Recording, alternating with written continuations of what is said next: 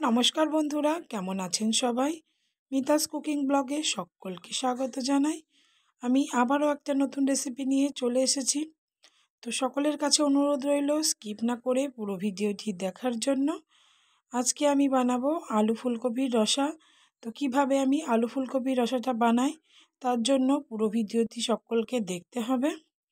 আর যে সকল বন্ধুরা আমার ভিডিওটি নতুন দেখছ তারা চ্যানেলটি অবশ্যই সাবস্ক্রাইব করে নিও। আর পুরনো বন্ধুদের অনেক অনেক ধন্যবাদ জানাই।